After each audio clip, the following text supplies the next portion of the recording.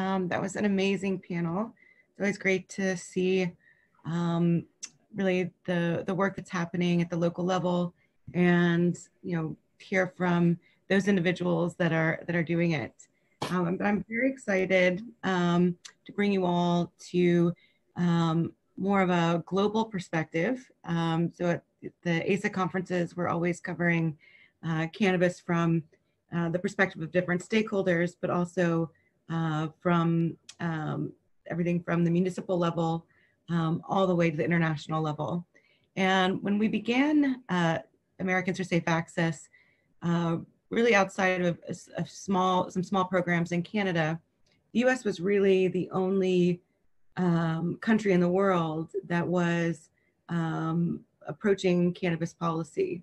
And we started seeing um, countries like Holland come, come on board with programs, um, but it's really been the last few uh, years that, that medical cannabis has been a global topic. And uh, as I mentioned in my opening remarks, uh, I had always assumed that we were we were going to win at the federal level, change federal uh, policies before uh, we would see movement at the international level. Uh, but we're actually seeing um, we're now up to 40 countries that have medical cannabis laws, and they're all experimenting with little different programs. Uh, so we're going to hear from individuals that have been uh, working in those markets to give us a little insight um, of, of some lessons that we can learn from, from those policies.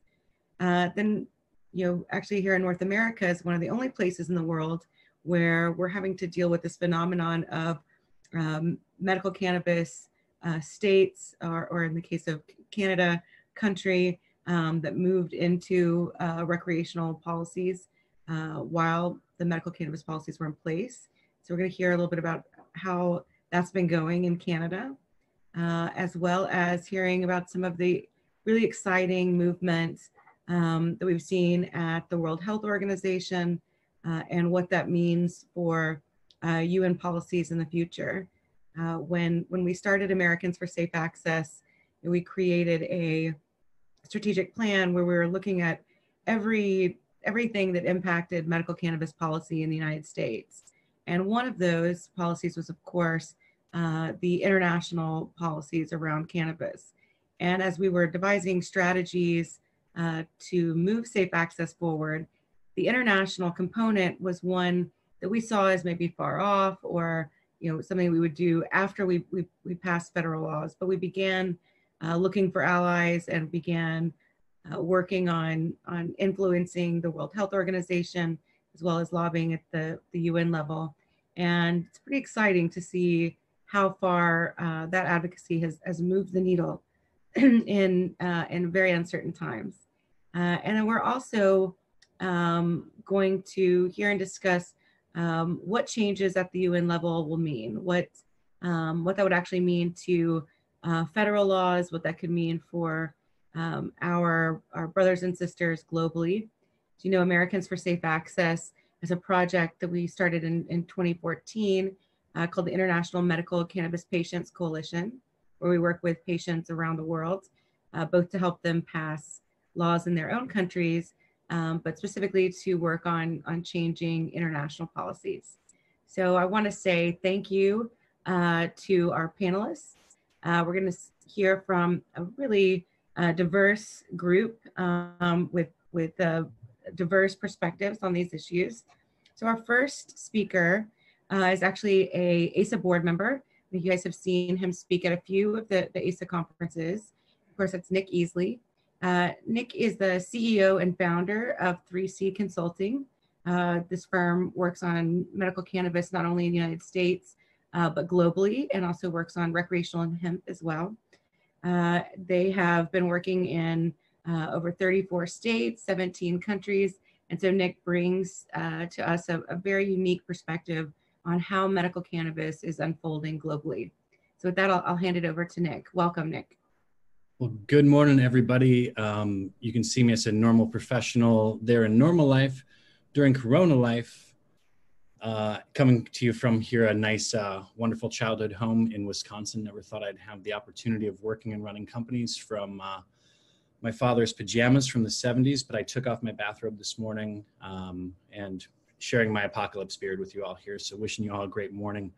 Would have been fun to be with with everyone in DC and the tulips uh, there, but I think this is a little bit safer. So I think we're all more than six feet apart. Um, to share a little bit just on background, you know, I never thought I'd get to do what I do or know and participate how I do on an international level when it comes to medical patients and access.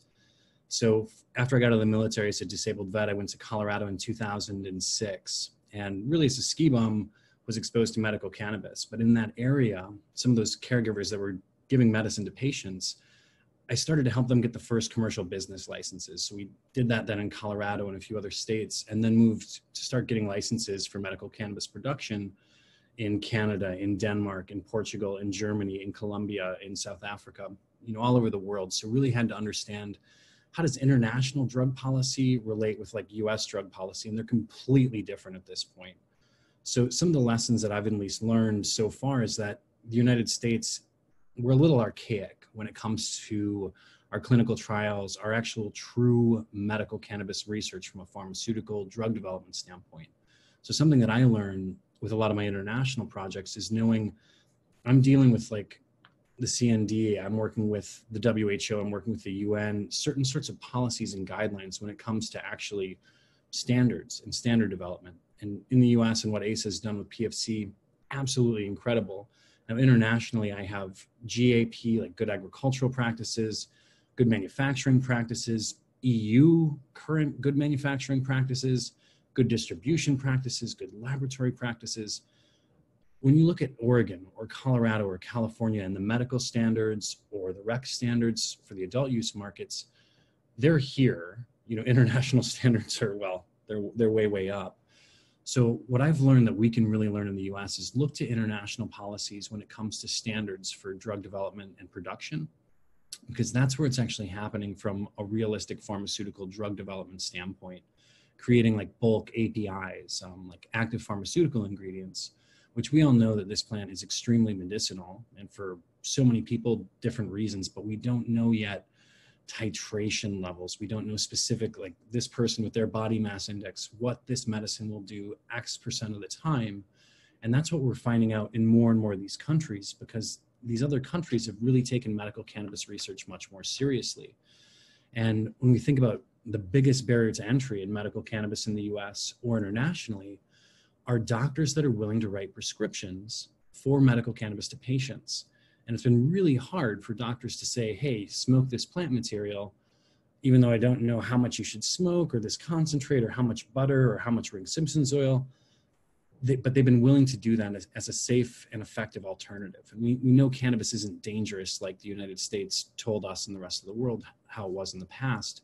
So we're a little behind when it comes to actually understanding like what is medicine, how doctors will use this. So the big thing that we should do in emulating many of our programs, the DEA is giving out many more research licenses now. It's not just NIDA that's putting forth some of these programs. So we can actually start to research medical cannabis in a whole different way with different types of preclinicals and clinical trials in the US, emulating what's being learned and what's already been learned in some of these other countries. Now, we always have to think if something's a PICS country, if it's going to be allowed to meet um, F- FDA standards for imports of drugs, just like an Epidiolex or some other like pharmaceutical product from cannabis. Because right now, just like in the United States and most, inter- well, all international countries, we're still following compassionate use. We don't know exactly what works, how it works, but we know something works. So at least the risks outweigh the risks are outweighed by the benefit, and doctors are able, able to write these prescriptions. And it's been low, and more uptick is happening in more countries. But the big thing that I'm sure um, Dr. Pavel and Pavel Pachta and some others will mention later on today is what's really significant with this UN vote that has now been delayed twice, um, which essentially when we can change the scheduling of medical cannabis on an international level with the UN, of which the United States is a member, we actually can kind of the silver lining here is actually get the US to change some of their drug policies based on their memberships with these single conventions and single treaties on psychotropic substances. Kind of a mouthful. So when that happens, if doctors are then required, or if doctors have like write a prescription for medical cannabis in a country, their country has to allow that, just like an opiate or just like any other sort of controlled substance, to be either allowed to be manufactured and produced in their country or to be legally imported. And to think of over 180 some countries having to change their policy compared to the few that allow domestic production and which ones allow like export and import, this will change the game. But the DEA has been uh, not the best on some of the research and what they've allowed us to do over the years. And unfortunately, we can't just take cannabis from one place, you know, and move it to another. Internationally, we can if it's, you know, produced with all the COAs correctly. But in the US, we just can't do that yet. The other thing that I think we can really learn from some of these international policies currently is how patient groups are really advocates. I mean, you look at ASA, almost two decades old. Amazing what we've done. I mean, and just a big props up to ASA and all the members for what's happened this last week to think of over 22 state governors saying that cannabis is an essential business. That's a that's a big deal. I, I mean, for this to happen, more delivery, more curbside, more pre-order pickups, like the industry's changed immensely in the last two weeks, and we have a lot of you know issues coming up based on these current current times. But this kind of silver lining of knowing that we have states now calling this essential, not just allowing this, but deeming this essential. If there's a way through any of this that we can get our federal government to see that there is medical value in cannabis, it's a direct argument with our controlled substances policy. So I think we're not going to do a first mover advantage in the US of changing that scheduling. But I think once this happens on the UN basis and then this trickles down to all member nations of which we're a part, quid ex post facto, we're going to have to change our policy, which is pretty spectacular. So I know that that's a main main thing that I'm really excited about. But the advocacy groups, how ASA has done a great job with PFC, like patient focus, you know, trainings and certifications in other countries, of really how can ASA take more of an international stage and our advocacy groups, how we're already working together with other nonprofits in the space, but there's coalitions and groups like this in France, surprisingly in Russia, surprisingly in many of these countries that I think we can help provide them some of our, you know, the great things that we've produced, you know, as an organization over the years on how we're actually analyzing our programs and support, or I mean, from our, you know, state type policies, giving them the information that they need. And also specifically with doctor education, the more doctors that we can educate internationally, we'll begin making more prescriptions and us here at home how to educate our doctors as well. ASA, one of the biggest things you can do as an advocate is the voluminous resources on our website for ASA that are kind of rules for regulators or resources for doctors and resources for patients. Like each person that's going around and teaching more doctors about, you know, not just saying like CBD is going to cure cancer and the coronavirus and everything else it can cure, but backed up peer reviewed medical science, peer reviewed data that's actually talking about cannabis and autism. And all of the times over the last 40 years it's cited in, in published research, that's what doctors look at. And we need to be better advocates instead of getting behind some of these false claims. And e- even though we know medical cannabis is so medicinal and important, we have to use the data, the facts, and the information to arm ourselves as advocates, as well as to arm our future allies of the medical benefits of cannabis. And never forgetting here in the US, even though we have so much revenue coming from the adult use sales, that medical cannabis is what started this. And as other countries like Canada and Uruguay start to legalize cannabis on a recreational basis, never forgetting that this is medical cannabis and where it comes from.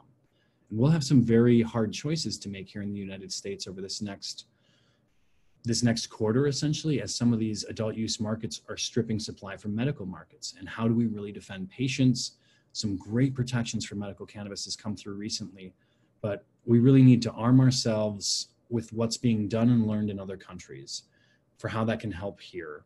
How we as advocates here and the great things that we've done and we need to not take our foot off the, the gas here. There's still states that don't have medical cannabis policies even cbd type programs like non-psychoactive until every single state and territory in the united states has some sort of medical cannabis program our job's not done. And then even then it's not done because the rec markets will start to step on patient rights. So we always need to be the biggest advocates for the medical cannabis patients because even at the end of the day, I think there's a lot of anxiety and stress in the world right now, and many people that are stockpiling cannabis from the adult use markets are using this medicinally as well at this time. We all have the same endocannabinoid system. Some of us have cards, some of us don't. but we really need to bring that and carry that forward as we move uh, move to these next levels. And even in the U.S., for what's happening on the WHO level and with the UN level, we need to push our policymakers. We need to push our directives. We need to push our representatives to educate them so that when these votes come out, they're making the proper choices when it comes to the potential rescheduling or descheduling of medical cannabis on an international level. That's going to change business policies that will allow countries that are producing in Portugal or in Colombia to export to other manufacturing facilities, make standardized drugs and drug development. And no, we have to remember that this window that we're in right now of compassionate use, it's only going to go for so long. The things that we've gotten away with in the United States of making suppositories, transdermals, sublingual strips, like bona fide medical products, like without going through clinical testing, like there's a moment that all of these businesses and brands are going to have to change to where the medical cannabis kind of as we know it is going to go into a whole nother kind of arena. And we really need to start to think how do we protect our patients from certain dangers and risks from new delivery methods? Um, we have no idea what concentrate of 99% does to someone or with compromised immune systems or now even with this big lung pandemic how do we protect our patients here not only from you know fake vape type issues but also that the things are being done in a safe and effective food grade manner. Where every other country has to do this, but they're doing it based on flour and bulk oil. That oil in Germany would then be compounded in a compounding pharmacy to make decarboxylated like little pills of flour or sublingual type strips or drops, but it's not the true products yet. So we really have a lot to learn in the United States. We've gotten away with a lot for our medical patients but there is going to be a moment that that compassionate use window is going to start to slow down and it'll move towards the more drug discovery drug development pharmaceutical type products just like in Epidiolex or something in that nature but you know someday we'll be able to take medical cannabis from one place under certain standards and move it to another or the drug products and developed products but without any sort of unified standards we're, we're going to be in trouble there. So we have, we're in a good place in the U.S. It's amazing what we've accomplished over these last two decades. To think of medical cannabis now being an essential state business for many states, and the revenue and the jobs that are being created, and also patient access. But we still have to remember, even with all of these changes that will be coming internationally after like this December vote, which hopefully you know goes through, we have to be ready for that next wave and what we need to do to start doing drug development, drug discovery, and true clinical trials and medical research here in the United States, just like is being done and promoted in many of these other countries at this point.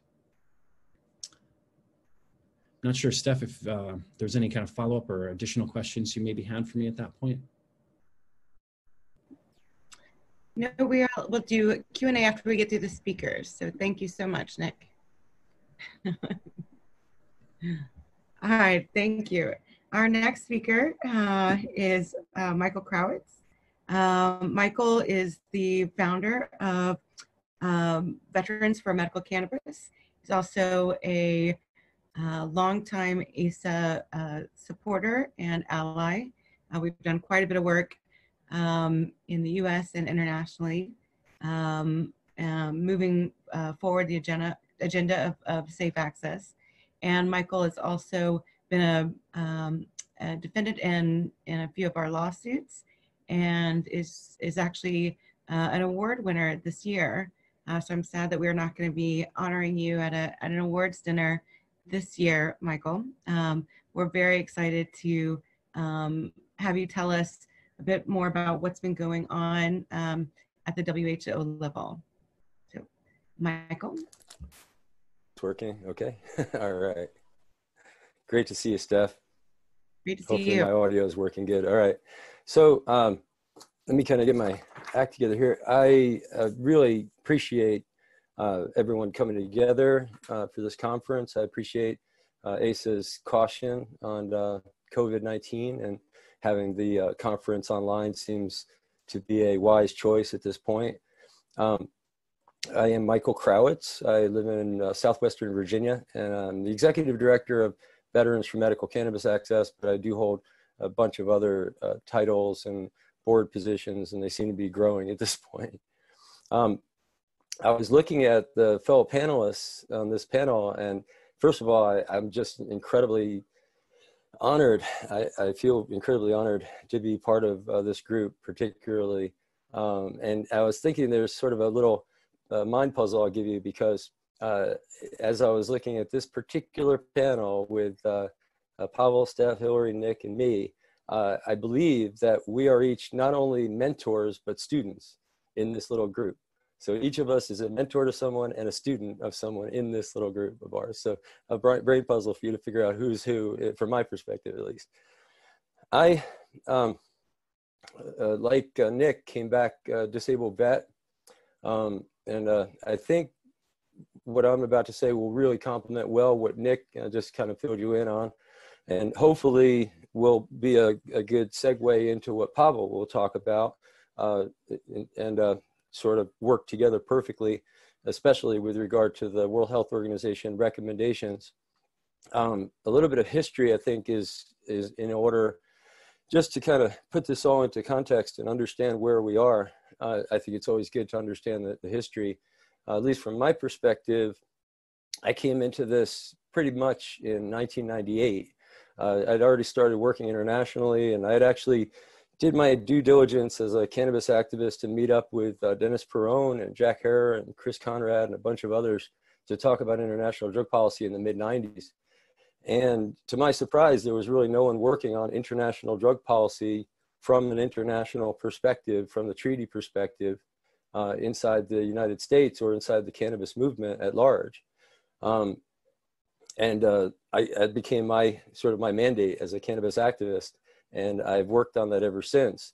Uh, one of my big trips where I learned an awful lot and met a lot of people was in uh, 1996, right around the time of Prop 215 in California. I actually received my first prescription for cannabis from the Netherlands from medical doctors there. I was actually on a long trip. I was uh, going to be in Europe for three months. It was a replacement trip for a, a, big Asian trip that I was never able to take in the military because of my disability and my injury uh, and, and my, you know, cutting short of my military service. I uh, decided to replace that with a Europe trip. And just as a matter of course, I thought it would be logical to establish a medical file in Europe so that if I ran into trouble in some country somewhere on a three month trip uh, across Europe, that there would be a, basically a local European doctor for me to refer to, for people to, to ask questions and, and to be able to follow my care.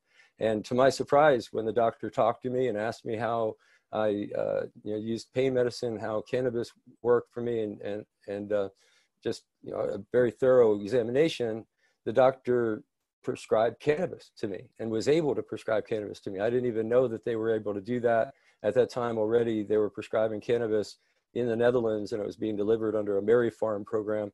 Uh, later, I received cannabis from the uh, Dutch government through the more modern uh, Bedrocan program and uh, the Stichting marijuana program and just about every Dutch uh, pharmacy program that they've had in my travels to the Netherlands, which was my first part of my international work. Um, 1998, I came back and I spoke at the United Nations in New York at this big drug summit. Uh, President Clinton was there. Is uh, like 88 world leaders were in the house. General McCaffrey upstaged everyone and landed on the roof in a Black Hawk helicopter. It was those kind of days. And I gave a speech at the. It was it's called the United Nations Drug uh, United Nations General Assembly Special Session, UNGAS is what they call these special sessions. And this was the special session on drugs in 1998. I think, to my knowledge, the last big drug summit that we've ever really had. Uh, before that was 1988, and that was when we passed our last bad law. I'll get to that in, in a minute. So I presented a speech in the NGO hall there in, in the drug summit in 1998. And it just occurred to me that my own country, the country that I served in the military really didn't respect my medical needs at all. Um, the Netherlands, who didn't owe me anything, was respecting my medical needs and that I could get cannabis from a pharmacy in the Netherlands and it wasn't really a, an issue. And then come back to the US, back to this meat grinder policy, the, you know, the eh, eh, kind of coming towards the end, I guess, looking at it historically of the just say no period. It was horrible.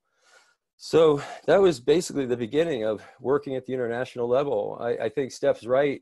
For many years, uh, 10 years or so, we didn't really work on cannabis policy inside the UN. We worked on access to meetings. and badges for access and working through the Economic and Social Council of the UN to get into meetings. And we actually did some things structurally. We recreated the New York NGO Committee on Drugs. We rebuilt the Vienna NGO Committee on Drugs, which are our sort of interface with the UN system from a non-governmental organization perspective. That's what we are, non-governmental organizations.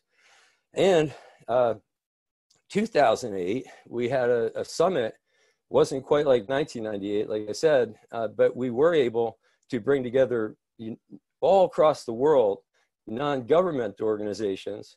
And it just so happens our work for that 10 years to bring in the cannabis movement, to bring in the reform movement, to get them badges into the UN helped us be structurally part of this 2008 resolution and UN process of, uh, of uh, consensus in the NGO community. You're talking about thousands of NGOs consulted all over the world, many of them on cannabis, but all over the place on, on uh, the spectrum of ideology and public health and harm reduction and drug access and abstinence and everything all thrown together. And we actually reached a consensus document, published it after such fanfare in Vienna, and that's become the basis for our conversation with the UN ever since. Um, as a matter of just quick history, and I think Pavel will talk more about it, we have three treaties uh, that we've signed into. The drug control treaties from 1961, 19, uh, what is it, uh, eight, seven, 1961, 1971, and 1988 are three drug control treaties that we signed onto.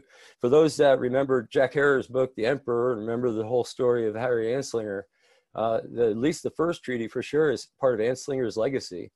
As I understand, uh, the history of, uh, of this from experts that have looked into it, it is believed that Harry Anslinger, our commissioner of narcotics for the Federal Bureau of Narcotics in the United States, who was in 1961 our ambassador of the United Nations drug uh, effort uh, to work on this new treaty, actually was looking to shore up the constitutional authority of the Marijuana Tax Act.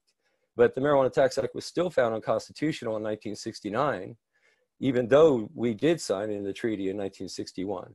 But the new law, the new Controlled Substances Act of the 1971, was full of the treaty uh, references and made good use of the of the drug control treaty in basically establishing itself uh, constitutionally. It used the constitutional basis, a very circular constitutional authority of a treaty once ratified in the United States becomes federal law. It's part of our constitution.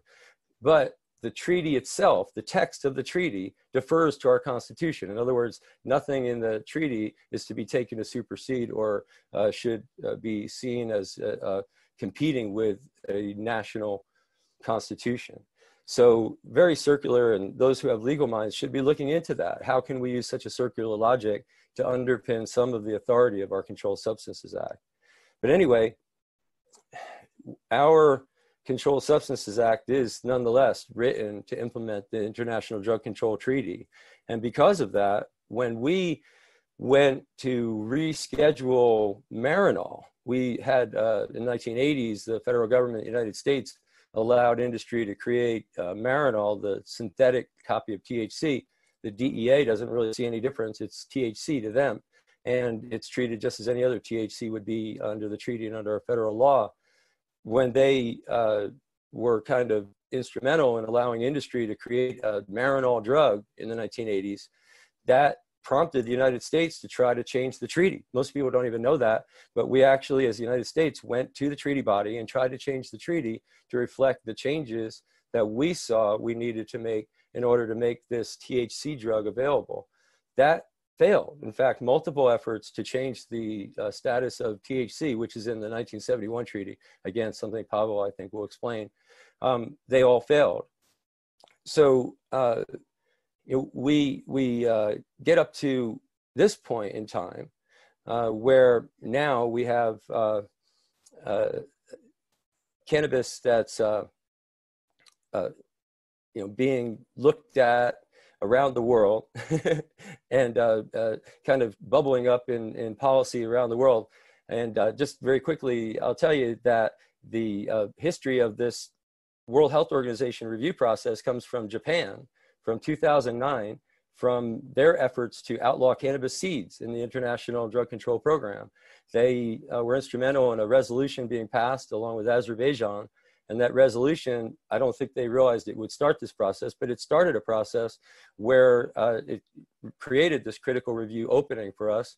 Uh, Steph and I were there to testify at the very first window of opportunity uh, to uh, try to get them to actually do a review, and we uh, help change the fundamentally the panel's uh, composition. We helped to elucidate the fact that Bertha Madras, Professor Madras, was not fair and impartial, and uh, she was actually taken off the panel. And we did get, eventually, years later, a good outcome. Um, I think that it's important to understand what the treaty actually does limit in the United States as far as what we can do. And uh, under the Controlled Substances Act, because of the way the treaty is written into our law, uh, if we want to have uh, cannabis out of Schedule 1 or Schedule 2, it's been interpreted as uh, outside of our treaty obligations currently. If you want to have uh, cannabis grown by an individual uh, outside of the government's monopoly, as has been defined by the DEA, now redefined to mean that you can actually grow outside the DEA prop, proper, but they have to actually constructively possess the cannabis. They have to buy it from the, the contractors that grow it. We haven't seen any contractors actually growing the cannabis for the government. Um, these are things that will change. Hopefully, if we do get the changes that we're looking at, uh, then that should under, undercut the DEA's argument. We should be able to reschedule cannabis. In fact, it should start, as uh, Nic alluded to, a process by which uh, cannabis will be reassessed from the top down instead of the bottom up. And it's been the bottom up that we keep running into the DEA. From the top down, hopefully we won't run into the DEA. It'll be straight to the executive branch, right to the HHS. I want to just quickly mention, you know, the future of herbal medicine that we see is uh, in expanding traditional use. And we're now working on appellations of origin. And just very quickly, if you think about if you buy a cannabis that says it's grown in California, you want it to actually be grown in California. You say it's cannabis from Jamaica, you want it to actually be from Jamaica. But even more than that, I'll leave you with this thought. As we're looking at medicines, as a patient, uh, you sometimes need very high doses. You're looking at very strong concentrates. And we now know that these concentrates can inadvertently carry uh, heavy metals and, and, and things from the soil that they're grown in. Think about it. Where something's grown, the way it's grown, the practices that it's grown in is going to reflect in that medicine and the quality of the medicine and how safe it is to take. Um, I think it's really important that we work on this. And, and, you know, again, it complements, I think, what Nic said very well as far as standards. I want to thank everybody. I thank uh, Americans for Safe Access so much for putting on this panel, uh, the International Medical Cannabis Patient Coalition, to which our organizations are members. We want to expand and uh, uh increase communications amongst that network and get everyone to really see more of what the great IMCPC network is doing and, and talking about. And finally, I, I want to thank the World Health Organization, who's really taken a stand for us, and not just for us, uh, you know, as they go through all these new drugs and they may be working on things like carfentanil that they don't have any argument about, uh, you know, putting into control, they've actually taken a stand on not just cannabis, but ketamine, tramadol. They've taken a stand on behalf of patients, on behalf of the truth and the evidence, and they're fighting an uphill battle in the United Nations. They need our help. So listen to the emails, join in the communication with Steph and I, and I think that you're going to find that we can actually change the world together. Thanks so much, everybody. Thank you so much, Michael, and thank you for for adding that comment. I think a, a lot of times, um, you know, we um, as advocates, we're constantly fighting and, and and pushing against agencies to get heard, and it is important once we make it to the table uh, to really thank those agencies. And as Michael mentioned, the World Health Organization has gone above and beyond uh, um, around the issue of medical cannabis. Um, we actually, many of you um, at, at ACES conference a few years ago helped create a critical review uh, for medical cannabis that we gave to the World Health Organization. And uh, I was actually quite pleasantly surprised when we finally got the critical review authored by the World Health Organization um, that it, it, actually took some quite radical steps, um, even further than, than some of us had hoped. Um, so Michael, thank you again for, for all of your work. Um, our next speaker um, is, is currently serving as the Chief Advocacy Officer at Canopy Growth. She's been a great advocate uh, for the work in Americans for Safe Access. Um, but when I met um, Hilary, uh, I was actually advocating for her to stay out of jail. Uh, she was one of uh, the pioneers of medical cannabis advocacy um, in uh, Canada. Uh, you know, bringing one of the first cooperatives um, to light there, serving again, I believe there's HIV patients, and then really broaden that access model. So we're very excited to have her join us today and tell us um, a bit about um, first her story, which is incredible, um, as well as the what she's seen as the process going from medical and rec in Canada. And then she's going to tell us a little bit about some of the other work that Canopy Growth is doing in the field of patient advocacy. So thank you so much, Hilary, for joining us.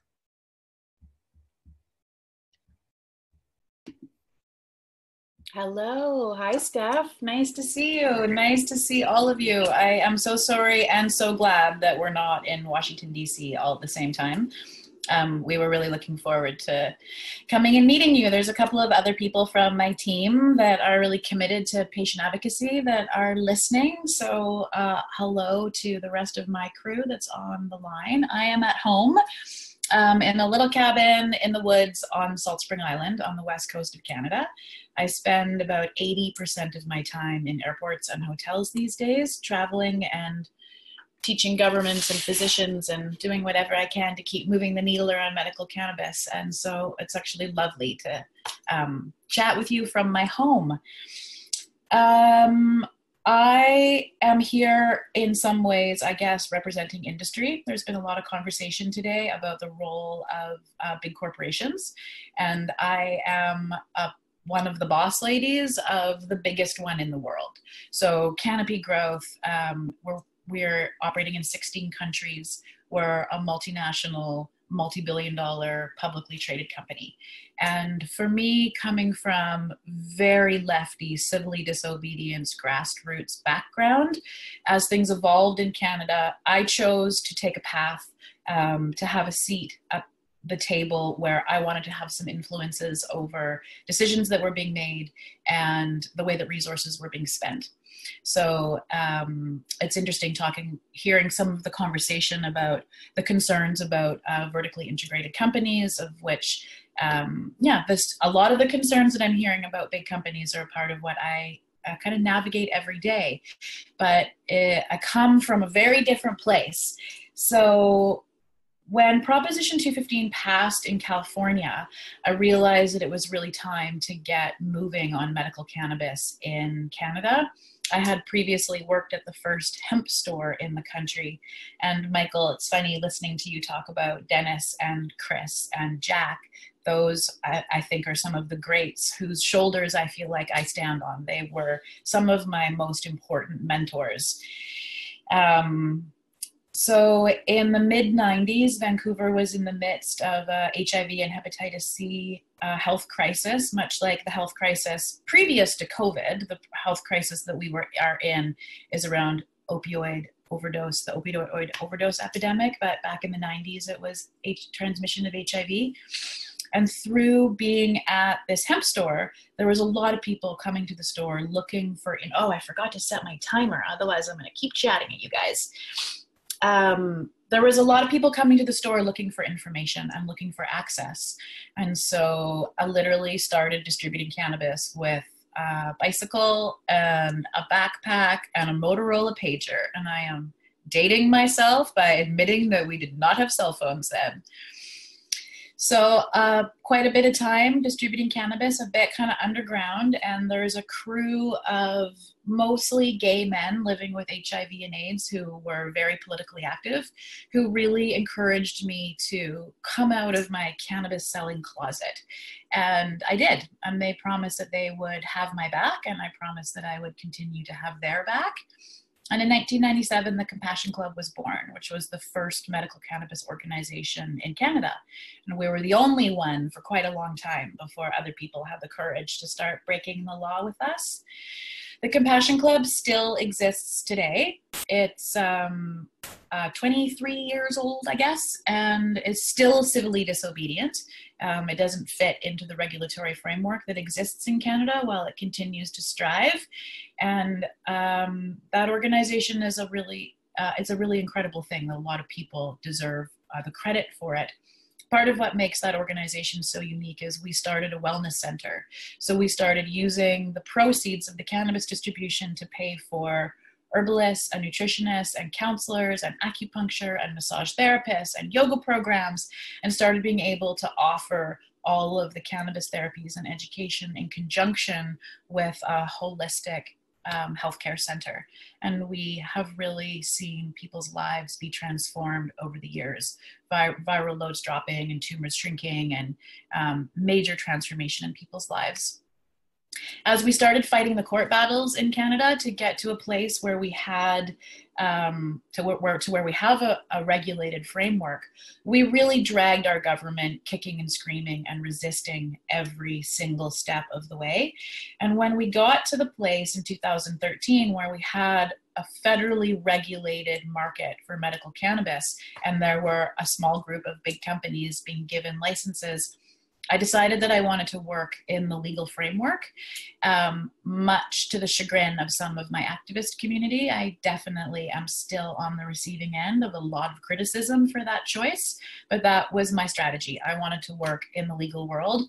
I wanted to create as much equal access for patients across the country and then start working on, really start working on the rest of the world. Um, once our government started talking about recreational access to cannabis. Um, we had a task force that toured the country uh, looking at talking to all kinds of constituents, trying to figure out what their recommendations were going to be to the government about legalizing recreational cannabis. And I identified that they weren't meeting with patients. They had other special interest groups, but they weren't meeting with patients. And I think one example of you know, elevating and empowering patient voices to change the conversation in the public and also to change how our regulators are thinking, which the ASA crew are pretty experts at. Um, we I rounded up a couple of my colleagues from other patient organizations, um, the Canadian AIDS Society, the Arthritis Society, and we sort of circled the wagons with the government and said, you have to meet with patients.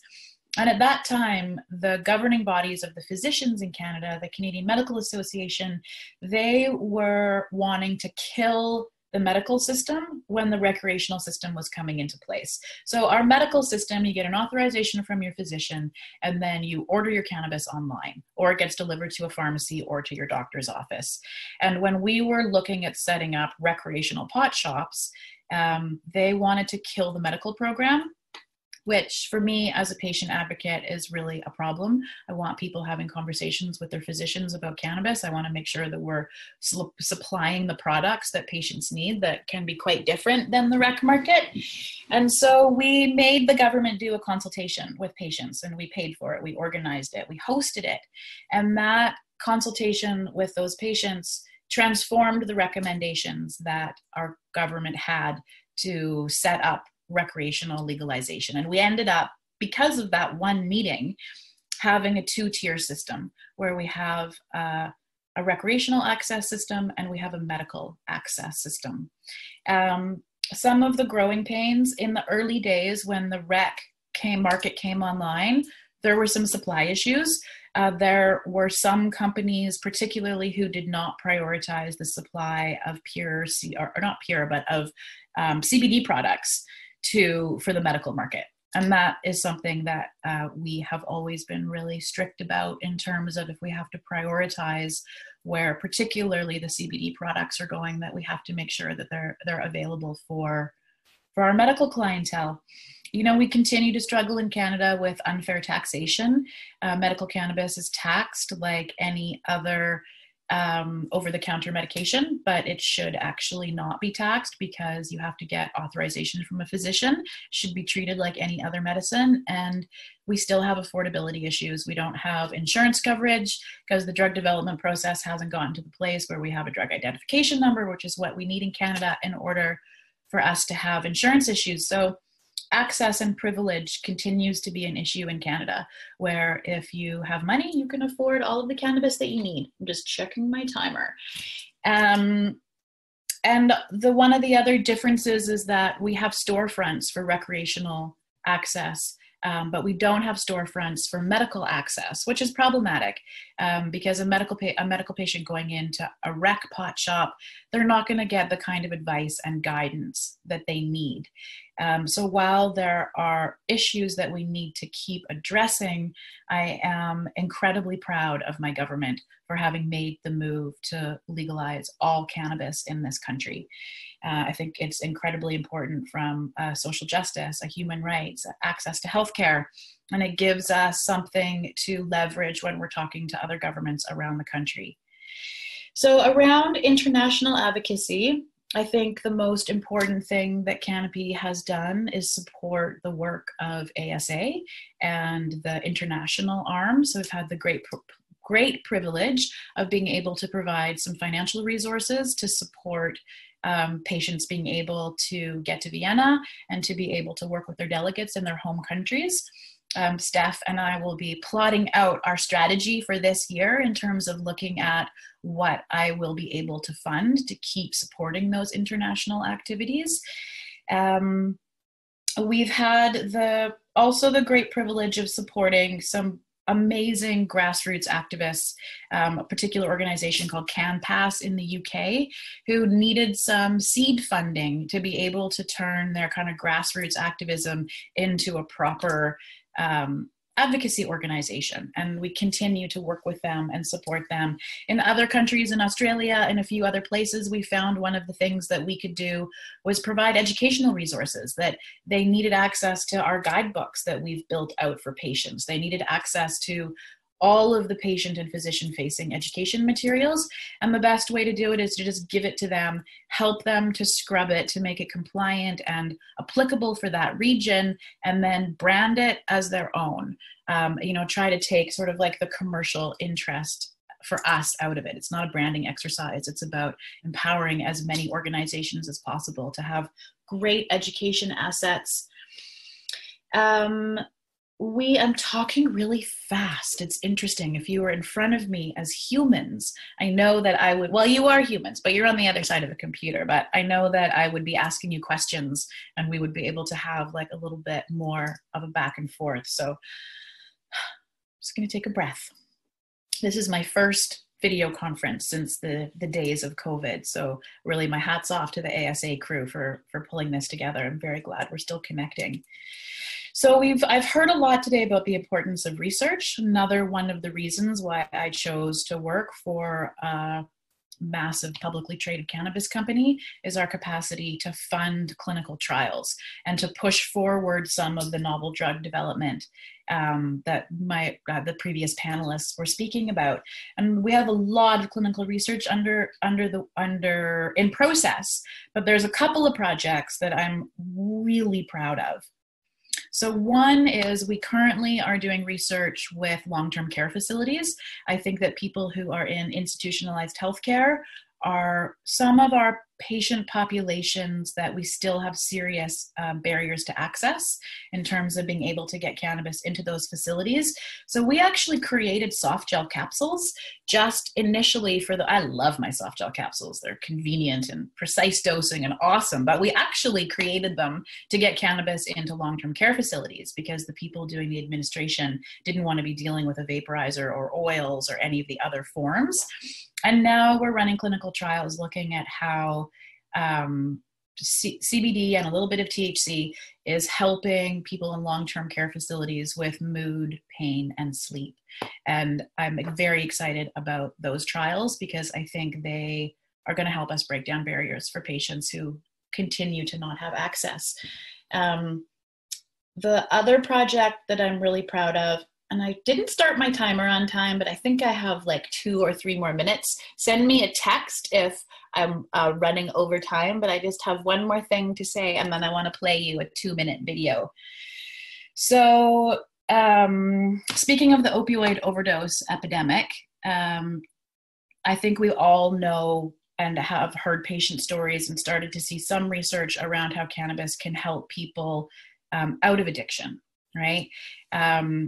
So we are the epicenter of the overdose epidemic in Vancouver. This is the port where the fentanyl enters the content, the continent. And two, three years ago, my best friend's 17 year old daughter died of a fentanyl overdose. So I took some time off of work to take care of the family. When I came back to work, my boss said, Well, what are we going to do? What do you want to do in British Columbia? How are we going to make an impact? And I reached out to some incredible colleagues of mine, and we donated two and a half million dollars to the university. The provincial government put in a half a million dollars, and we created an endowment that supports the world's first professorship of cannabis science. And that professorship is running clinical trials looking specific, specifically at people with substance use disorders and how cannabis can help them out of addiction. Um, and we want to build a body of clinical evidence so that people who work with addiction and people with substance use disorders around the world have a gold standard body of clinical evidence to understand how cannabis is a tool to help people uh, and one of the tools to help us resolve the opioid overdose epidemic. So, if I have time, unless I get a chat message that says it's time to shut up, I'm going to play you a video um, about that particular program that I'm really proud of. But before I play that video, which will be the end of my few minutes of speaking with you, um, I want to say that my provincial government did something incredible today, something that should have happened long before this epidemic, but long before the the COVID pandemic. So in Vancouver, in the downtown east side, which is our community that is the most impoverished and the most hit with uh, multiple layers of diagnosis and addiction, um, the concerns about the transmission and the ability for people to isolate around COVID is really serious. And today, the government announced that we are finally going to give out opiates by prescription to people who are living with substance use disorders. And so we should have done this a long time ago while you know people are dying in the thousands um, from a poison drug supply. And while this issue is slightly different than medical cannabis, these issues are very related to me. So I do want to give hats off to my government for, um, sorry, an announcement today that makes me really proud that is really, really actually going to save lives during this time. So a little bit. Uh, teary thinking about like all of my friends who live in shitty, tiny, tiny places that hopefully now are going to survive. And they actually can get um, prescription opiates delivered to them during this time. Sorry. Um, so now I'm going to grab some Kleenex and um, play you this video if I can remember how. Give me just a sec.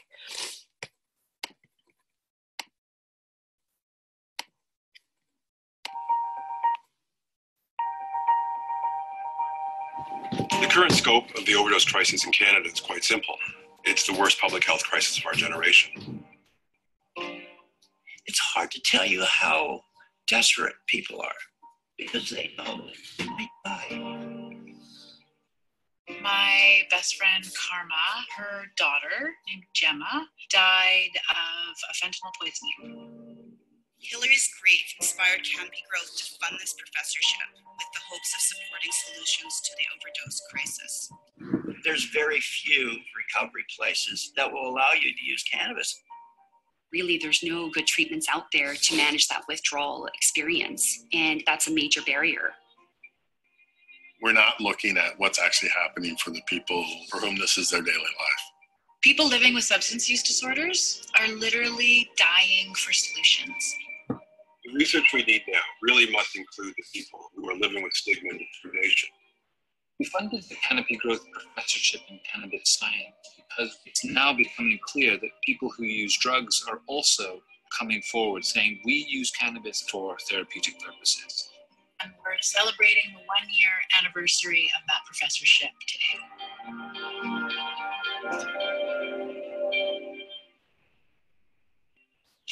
We made a decision to support the creation of a body of clinical evidence that may help people living with substance use disorders find new solutions.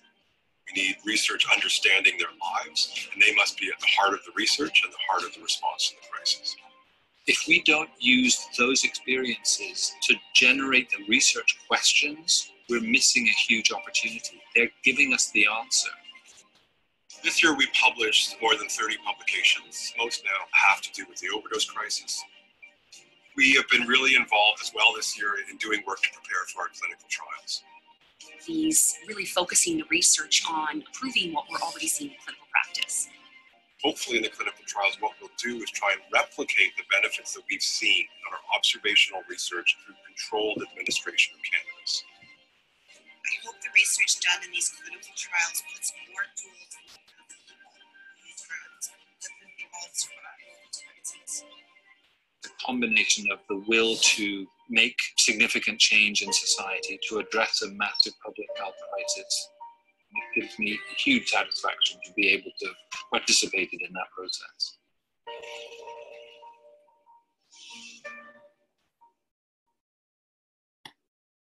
That's it. I'm a few minutes over time, so I apologize to the organizers, and it's a great pleasure and honor to have had the opportunity to speak with you, and I can't wait to meet you all in person next year. Thank you so much. Like, that was beautiful. And um, we are actually um, doing just fine on time. So thank you so much for sharing that video as well as as well as your story. It's very appreciated. Um, our last panelist uh, uh, before we go into Q&A um, is Dr. Pavel Pachta. Um, Pavel Pachta was uh, formerly the uh, Deputy Secretary at the International Narcotics Control Board and he currently uh, works with me at ICCI as the regulatory director and is going to uh, tell us today um, a bit more about what's happening at the UN level, um, but also um, what we're seeing at, at ICCI uh, for potential uh, model legislation. So with that, I'll hand it over uh, to Dr. Pachta. Welcome.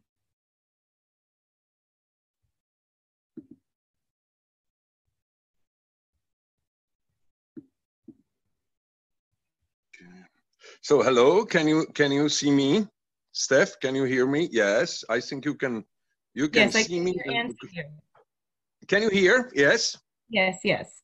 Welcome. Okay, so I'm I'm greeting you from from Vienna, Austria, small country in Central Europe. We are also uh, struck by by the virus and uh, we are limited to our homes. And uh, I would say it's a great honor for me uh, to be even at this difficult time with you, with ASA, ACA, and with uh, the excellent colleagues uh, like uh, Steph and Hilary and uh, Michael and Nic at, at, uh, at, and on this panel.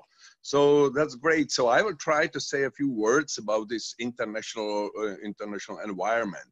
You know, we always speak about the importance of legislation. Laws are important your uh, your law on narcotic drugs and psychotropic substances is very important for for the life in your country for for the patients in your country. And uh, because cannabis is uh, considered globally as a narcotic drug so then these national laws uh, in almost all countries all over the world are reflecting with respect to cannabis the provisions of the International Drug Control Convention, which is the so-called 1961 single convention on narcotic drugs. And allow me to say that this convention, of course, was adopted 60 years ago, reflecting the realities of the time. I think uh, Mike Krawitz has mentioned some political influences coming from your country also with respect to cannabis when this convention was drafted. But, uh, well, let's go to some facts. So this uh, to attach to this convention are four schedules. And uh, the first schedule contains the standard narcotic drugs like is morphine, opium, cocaine, uh, uh, you know, for example, also cannabis, oxycodone, fentanyl, etc. So, so these are standard narcotic drugs. Then you have the second schedule, uh, in this schedule are drugs like codeine, which are considered less dangerous.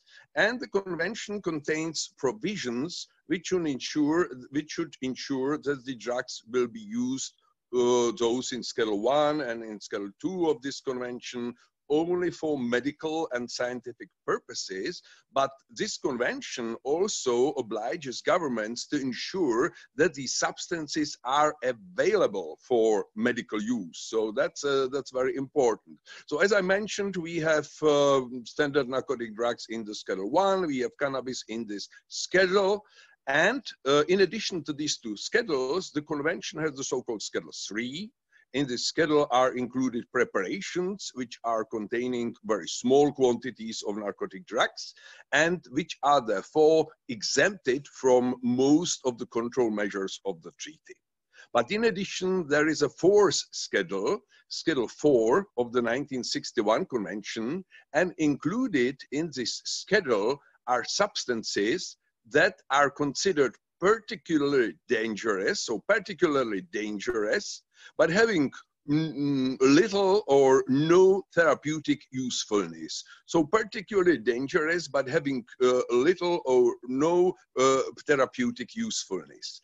And if you look which substances are in the schedule, so to our surprise, cannabis is there. When they were drafting the 1961 convention, they put cannabis in the schedule of drugs which are considered particularly dangerous and with more or less no therapeutic use. The other substances in this schedule are, for example, heroin, this, uh, and there are some fentanyl analogs, uh, as was mentioned today, already very dangerous substances.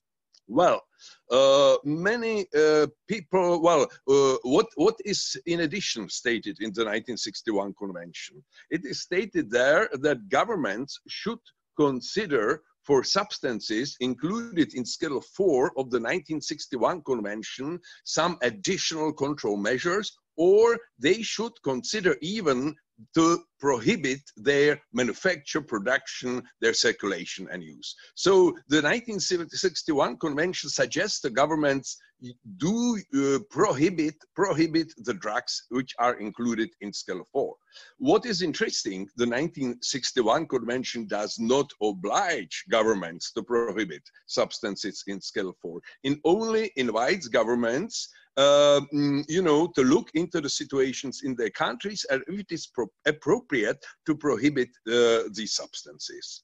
Now, uh, we have cannabis there, and of course, uh, the uh, most of the countries in the world, it was in 1961, they simply reflected the provisions of this treaty. And as they were obliged by this treaty, they, they transferred the provisions of this treaty into their national legislation. And with respect to cannabis, which was at that time considered not to have many important medical uses, most of the countries gradually prohibited uh, prohibited any use of the substance, any medical use of cannabis, including that in their country. So that was uh, the reality, that was the impact of the 1961 convention and of the level of knowledge uh, and uh, the, uh, let us say, the political, uh, um, political will of the most important countries of the time. Now the situation has changed. Many advocates have, um, you know, started to draw attention to the medical usefulness of cannabis. And in this respect, you know, it was uh, mentioned here uh, that uh, uh, that uh, you may in the I was following the panels before and so on that uh, you may learn something from the countries outside the United States of America. But I would like to mention that uh, in fact uh, it was very important what started in the United States of America, that you started with really enforcing, or you patients started successfully enforcing medical medical use of cannabis, starting uh, from uh, from 1996. Uh, 90, uh, if I'm I'm saying the date correctly. So great. So then started Canada 2001, uh, Israel with some activities with medical cannabis, and uh, and uh, 2003 uh, there started the Netherlands. So uh, some countries, uh, in some countries, in your country, unfortunately only on state level, not on federal level, some countries uh, legalized legalized the use of cannabis again for medical medical purposes. But what about this global position? Of course, these are a few countries uh, which have started with using can cannabis medically. But what about the other countries uh, which are still influenced by this international scheduling position of cannabis? So they have been voices, let us change it, let us uh, take cannabis from Schedule 4 of the 1961 convention. Let us delete it from that schedule. Now, how this can be done? This can only be done if this is recommended under the 1961 convention, convention by the World Health Organization. The World Health Organization is considered to be the expert body on these issues of, uh, you know, uh, substance abuse. So this is the body under the treaty which may recommend such a change.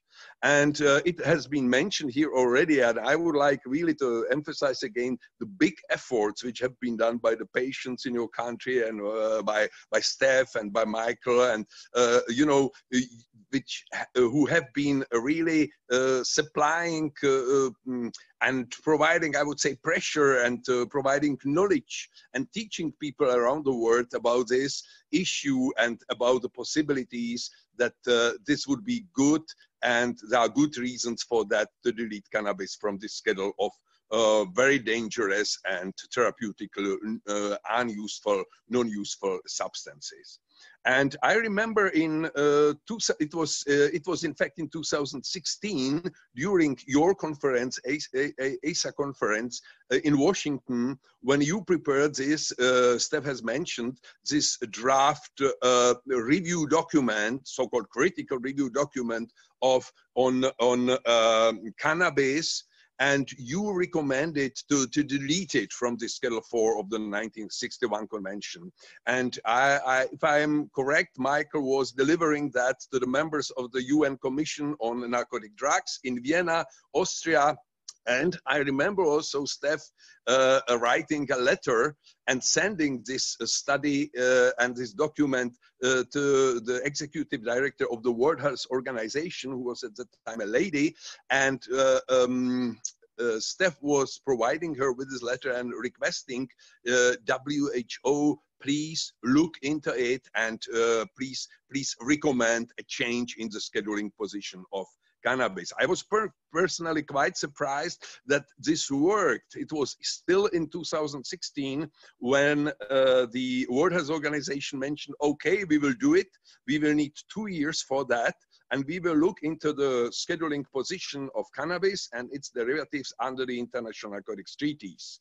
And they uh, they did, did, this they they made this exercise and by uh, at, uh, they finished their work uh, by the end of 2018 in january 2019 they made public their recommendations and if they recommend something so they send this recommendation to the so-called UN Commission on Narcotic Drugs. And this is a body which includes 53 governments, representatives, so representatives from 53 countries. And then these countries should vote on the recommendation of WHO. And uh, with respect to the derivatives of uh, cannabis, WHO made a couple of recommendations, but the most important one was to delete cannabis from Schedule 4, to take the stigma uh, of, uh, of uh, dangerous and non-useful drug from cannabis. And this was the key recommendation. Now, uh, now uh, the, the commission can say only yes and or no. Uh, it is the rule of the commission that uh, uh, to, to approve uh, the recommendation of WHO, it must be approved by the majority of governments present and voting, the majority of government present and voting must be for that recommendation. And then it uh, becomes a law and then it is implemented in the convention. While the governments were hesitant, there are some governments in this body of 53 which are opposing that change. Of why they are opposing, I think there is a kind of conservatism in many countries, a fear to change status quo, a fear of uh, uh, the uh, that this will help the proponents of total legalization of cannabis also for recreational use. And therefore, the countries like, for example, China, like, for example, Russia or Japan are expressing some conservation, uh, they have uh, reservations with respect to that. And they somewhat say, well, do we have to do it? Is it really necessary? The 61 Convention anyway only recommends to governments to consider prohibition. You do not have to prohibit. Anyway, you have it in some countries already. So why should we do it? And the, the situation is that they have not decided on the on in 2018. They had not decided on that also in uh, 2019. They have not decided on that also now during the last session in 2020 when they met in Vienna, Austria in March of 2020.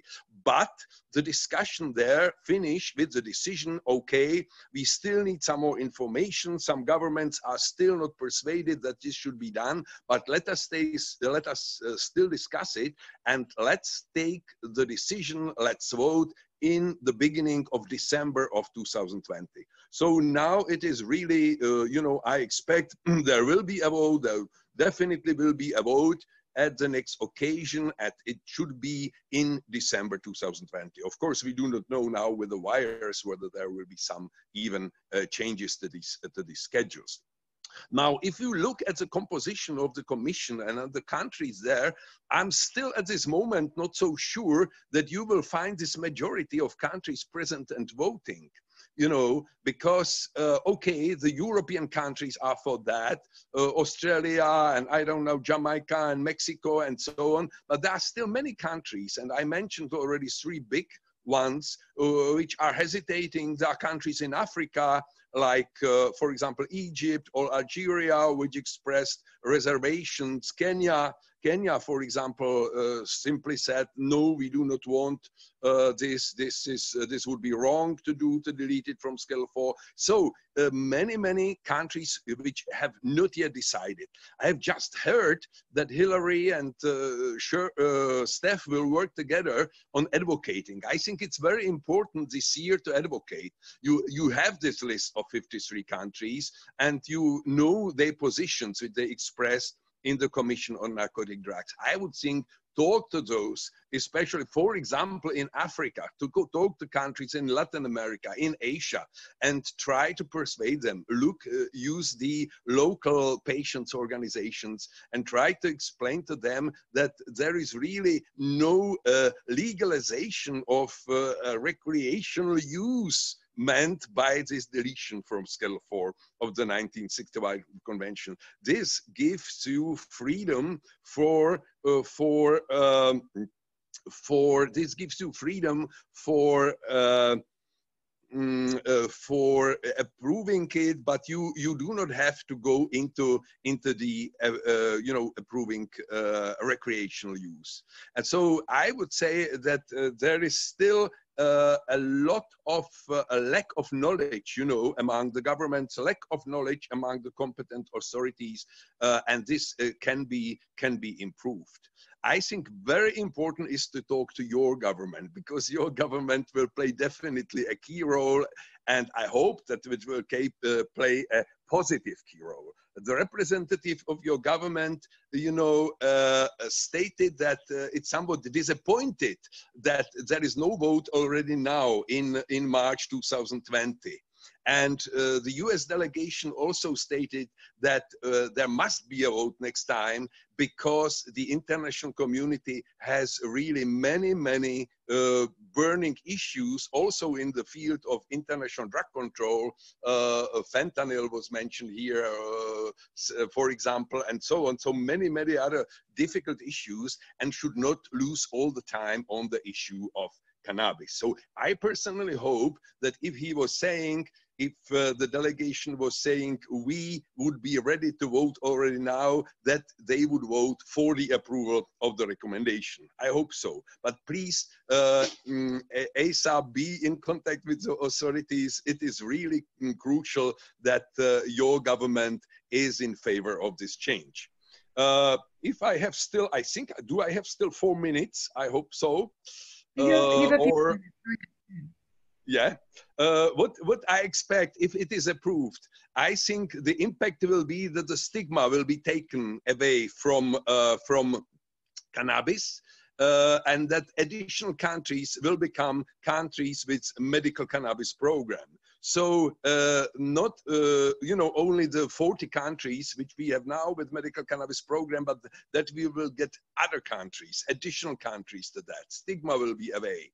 Then it will uh, yes, you said that will maybe open the way to the, um, you know, uh, approval of medical cannabis in the United States of America, uh, because uh, your authorities would say, okay, if the international convention says it may be used for medical purposes, why not in our country? Well, so uh, great. Uh, uh, that will be a very positive thing. And I think what I really hope very much, this will help the research. So we have had already some optimistic news from the United States that there will be maybe more suppliers of cannabis uh, for research in your country. But if it is now recognized fully and reflected in your legislation, then there should be no problems with research. And uh, there should be a lot of research in your country. And there should be a lot of research in other countries which are not doing it now, like in France, like in, in China, like in, like in uh, Japan. So I hope that that would be a major, major change. And also a very good thing, if this is approved, this recommendation of WHO, very good thing for for think for patient organizations. You would get an additional argument. You, you would be able to say this is a substance only in schedule 1 of the 61 convention as any other narcotic drug and my government has an obligation to ensure its availability for medical purposes. So that would be, I think, also very useful.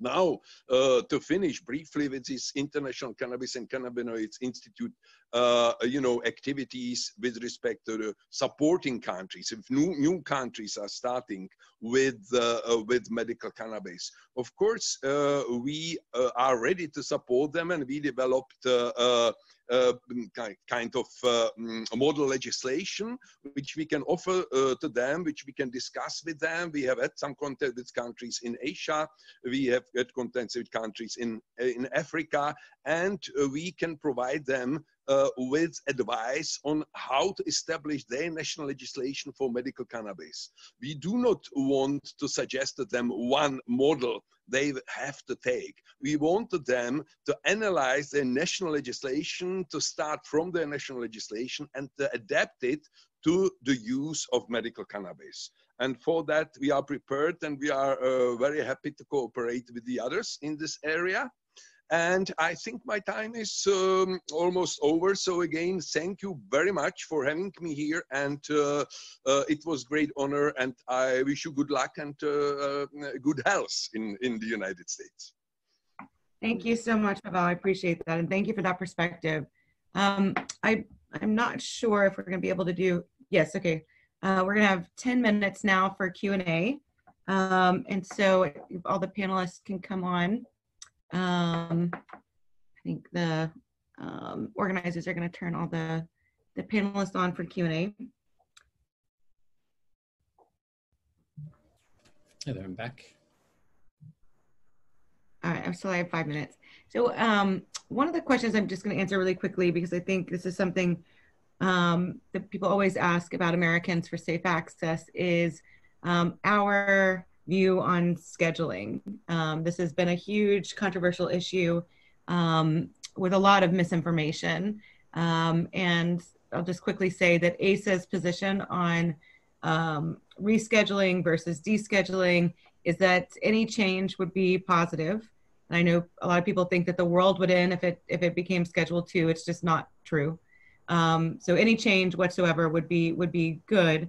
And what we're advocating for for U.S. policy is actually uh, neither, neither rescheduling or descheduling, uh, but rescheduling, so, so new scheduling. So what we're suggesting is actually the creation of a new schedule, Schedule 5A, uh, that would uh, require a doctor's prescription, um, but it would make it wildly widely available to patients um, and would be able to be prescribed as a frontline medication. So it would put cannabis in in the medical system uh, as is, would still require a prescription, um, but would would not be in competition with uh, Schedule Three drugs, Schedule Two drugs that have to go through the FDA approval process. So that is that is the the official position at ASA. You'll learn more about that this afternoon when we go through our model our model legislation. Now I just have a, a question actually for each one of the, the panelists. Um, and so uh, Hilary, we had quite a few questions for you. Um, so we'll, we'll also ask that you answer some of those offline. Um, I think a lot of them are in the, uh, the, the, chat queue. Um, but one um, that is actually something that's come up for me as well is that when we've been working at the international level, um, trying to change the scheduling of cannabis, um, the, the representatives from Canada um, have not been that supportive um, and have not been, been that uh, excited about medical cannabis.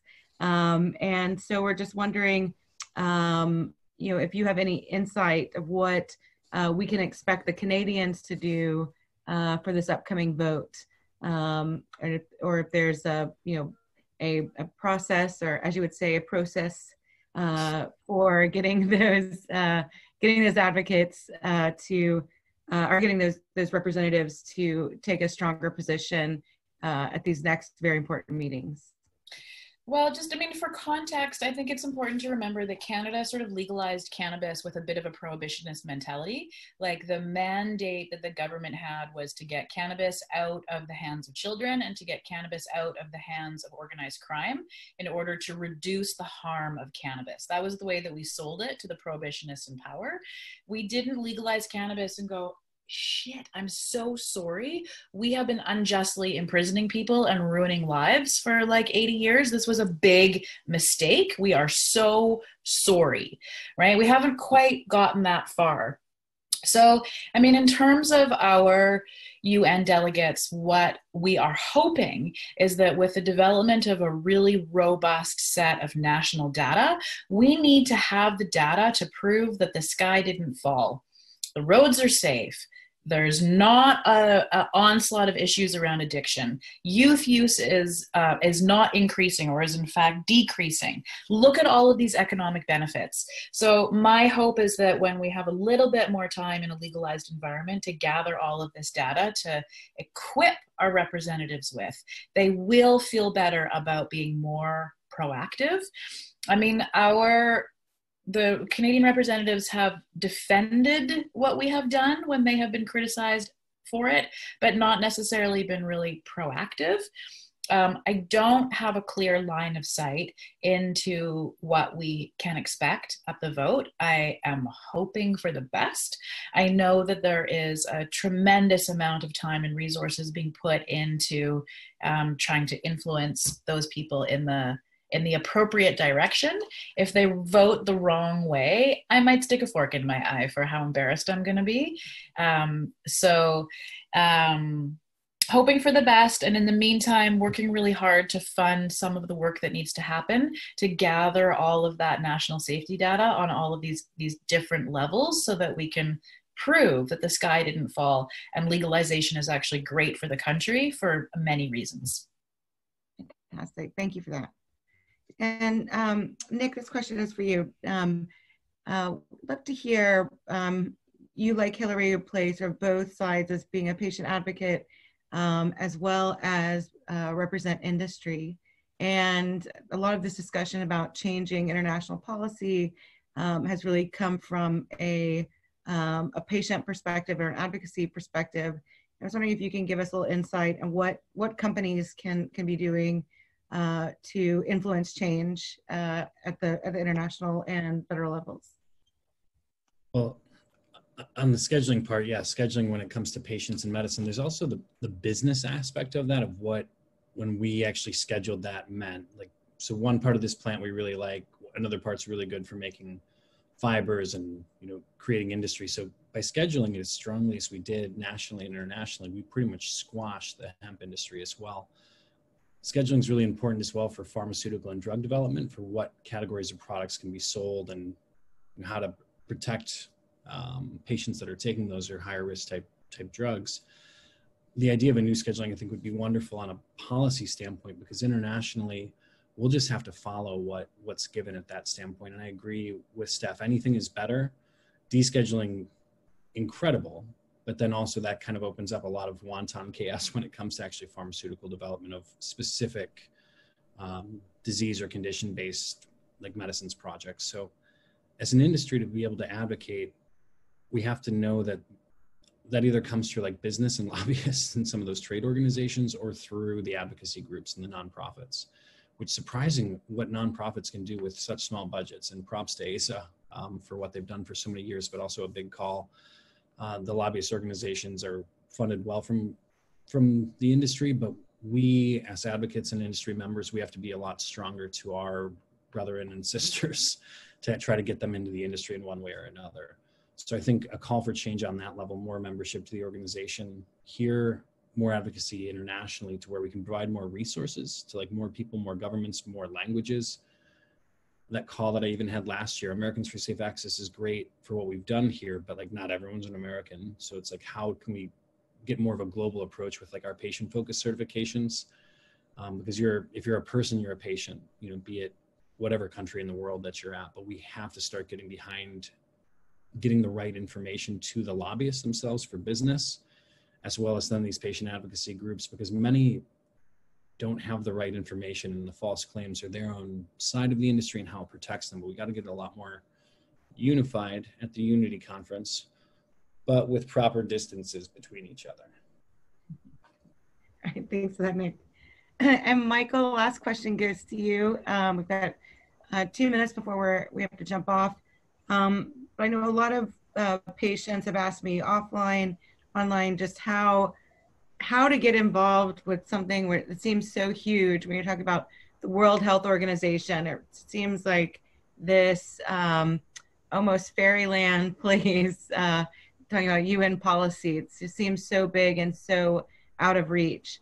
Um, so if you could just give uh, our members and uh, participants in the conference just a, a little you know a little push in, in getting involved i guess uh, so there's two related projects. So uh, the first project would be to win this vote of course in december.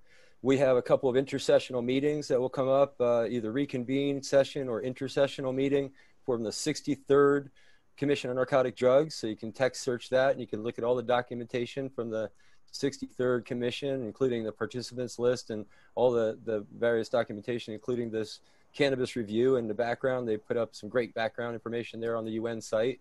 Um, we need help reaching out to member states and to try to make sure that member states that have a, you know, like I was saying in the chat, a strong history of traditional use of cannabis as a medicine in their own country, at least connect the dots and know that people are looking at them and watching them. And they, you know, if they're if they're if they know that they know this important important vote, they know that it might win, and they know that we're watching them. Those three things might actually get them to vote yes.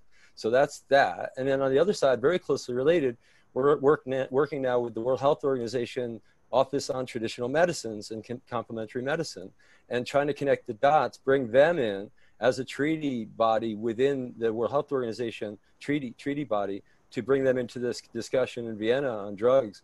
And we need help all over the world to really kind of capture this history of how cannabis has been used in the various countries. It's a heavy lift, we haven't really written about as a movement how cannabis has been really used in all these various countries.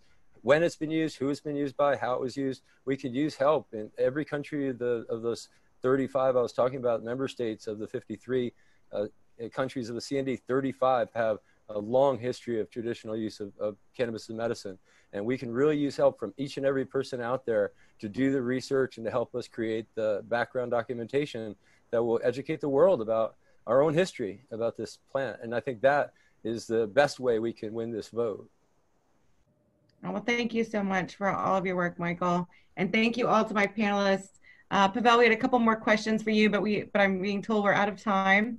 Um, so panelists, will probably be sending you a, a few more questions uh, so we can send those answers out to uh, our participants. But again, uh, thank you so much. Stay safe and we'll see you soon. See you in DC next year.